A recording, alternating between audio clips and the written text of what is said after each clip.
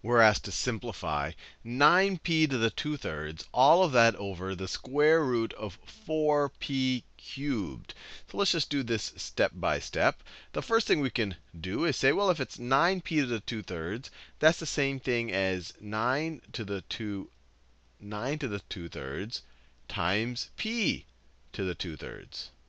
That's what this top part can be simplified to. Now the bottom part, we can rewrite the bottom part right here. The square root of 4p to the third, this is the exact same thing as 4p to the third to the 1 half power. This is the same thing. The square root of 4p to the third is the same thing as 4p to the third to the 1 half power. So given that, we can do the same thing that we did on the numerator. We can say, well, this is the same thing as 4 to the 1 half, 4 to the 1 half, times p to the third to the 1 half, times p to the third to the 1 half power. And let's see if we can simplify this even more. So this is going to be equal to, let's do the denominator first here. So what's 4 to the 1 half power? What's the principal root of 4? Well, 2 squared is 4, so it's 2. The positive root is 2. And then p to the third, and then that to the 1 half. That's the same thing as p to the 3 times 1 half, or p to the 3 halves. p to the 3 over 2. 9 to the 2 thirds. See, the cube root of 9 isn't anything easy. Well, actually, we could think about it this way. You could say it's 9 squared. So we can view 9 to the 2 thirds. Let me do it this way. This is the best way to think about it. This 9 to the 2 thirds, one could write it. I'm kind of um, making it, unsimplifying it, but it'll help us calculate it, what it actually means. 9 to the 2 thirds the same thing as 9 squared, 9 squared to the 1 third power, right? Because 2 times 1 third is 2 thirds. And then you have that, of course, times p to the 2 thirds. And this is going to be equal to 9 squared is 81. So it's 81 to the 1 third power times p to the 2 thirds times p to the 2 thirds now, instead of writing this 2 and this p to the 3 halves down here, let me just write it as negative exponents. Or even, let's write, just write it like this. A 2 in the denominator is the same thing as 2 to the negative 1, or 1 half. So this right here, if I want to write in the numerator, the same thing as 1 half. That and that are the same thing. And p to the 3 halves in the denominator is the same thing as p, as p to the negative p to the negative 3 halves. So this whole expression so far has been simplified to this right over here. And let me copy and paste it. I'll work on the next line now. So let me copy it and paste. Bring it down right over there. Let's see if we can simplify this even more.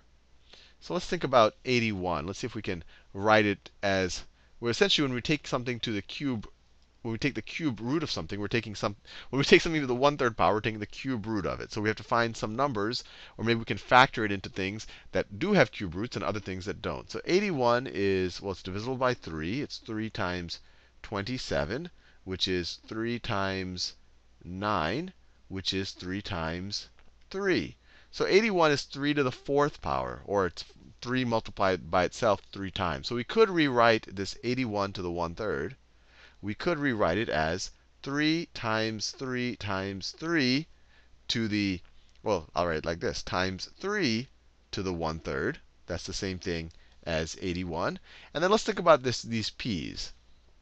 And I'm doing more steps than I would do if I had to do it on a piece of paper, because I really want y'all to understand kind of what's going on here. So we have a p to the 2 thirds times p to the negative 3 halves. So that's going to be times p to the 2 thirds 2 thirds minus 3 halves power. And then so we did the p's, and then we just have the times 1 half. Times 1 half. Now, this right over here, this is the same thing. This is the same thing as, we could just view this as 3 times 3 times 3 times 3. So it's the same thing as 3 times 3 times 3 to the 1 third times 3 to the 1 third. Right? We've done this multiple times. Times the 2, 2 thirds minus 3 halves. Let's just work that out. Actually, 3 halves is a larger number, so let's just say it's the negative of 3 halves minus 2 thirds, which is equal to the negative if we use 6 as a common denominator. If we use 6 as a common denominator, 3 halves with 6 as a denominator is 9 sixths minus 4 over 6. That's what 2 thirds is equal to. So 9 minus 4 is 5 6, but then we have this negative out here, so it equals negative 5 6. So times p to the negative 5 6 power times 1 half, times that last 1 half over here. Now, 3 times 3 times 3, or 27 to the 1 third, the cube root of 27 is 3. So this right here simplifies to 3. And then 3 to the 1 third, that's the cube root of 3. So we can say 3, and then this right here is the cube root of 3. The cube root of 3. So we get 3 times the cube root of 3 times p to the negative 5 6. So sometimes you might want to write the p out here in front of the radical. That tends to be a simpler way. Actually, let me do that. So I'll write the p to the negative 5 6, p to the negative 5 6.